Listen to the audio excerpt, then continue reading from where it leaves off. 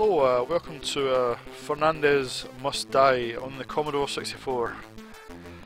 Now this is, uh, I can't remember this came must, must have been about 88 I think, uh, and uh, programmed by uh, Tony Crowther. So, uh, as you'd probably expect, this is a shoot 'em up.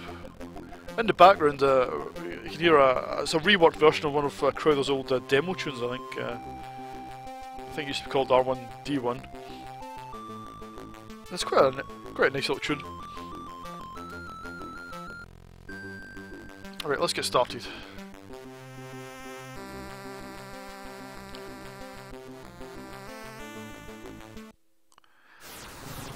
Right, this is basically a well, sort of commando uh, Ikari Warriors sort of uh, clone. Now, unfortunately, uh, it features the, the the usual Tony Crowther um, eye bleeding colour schemes. Uh, uh, and the colours, well, they're not very subtle, let's put it that way. I mean, that's, I guess they're meant to be bright, uh, you know, sort of arcadey. That's, that's fine.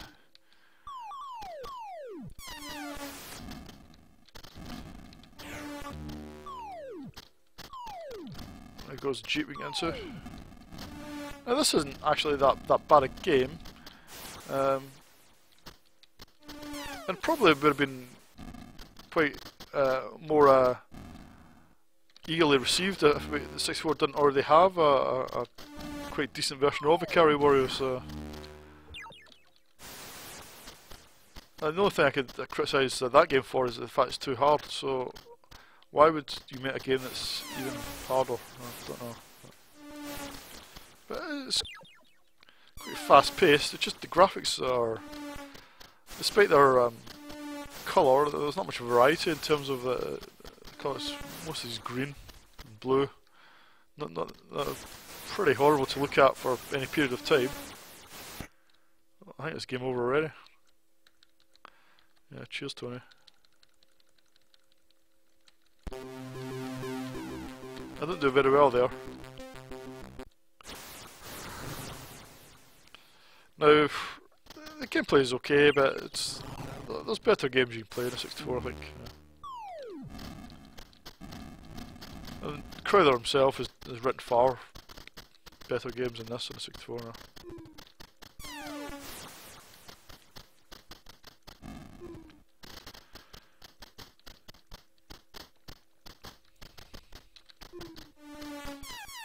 Maybe some in-game music would have been nice.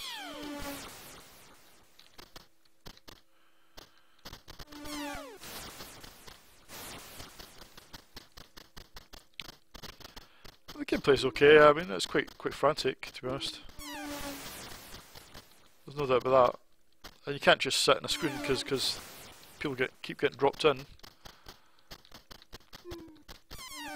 So it keeps the action going.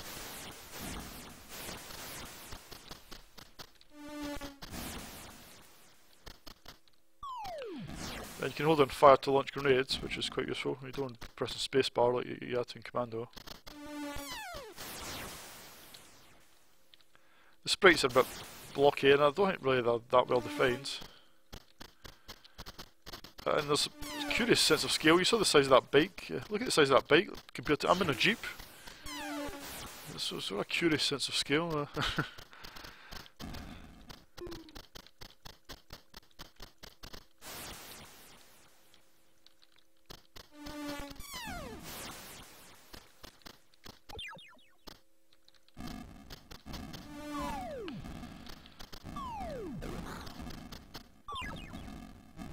Yeah, I never really owned this back in the day, but it's, uh, I don't think I really missed out much, to be honest. Uh, it's okay, but it's not a...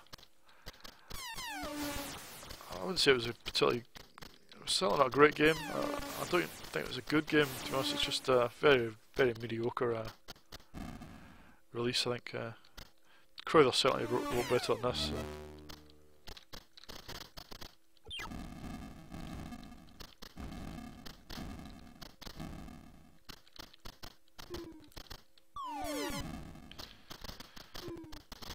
This must be the end of level, Thanks. I can't seem to get any further.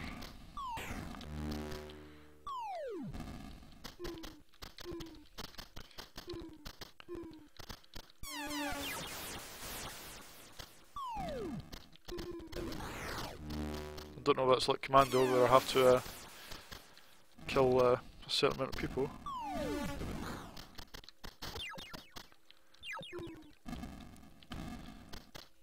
My eyes are actually beginning to, to hurt, I think, from staring at these garish graphics. So.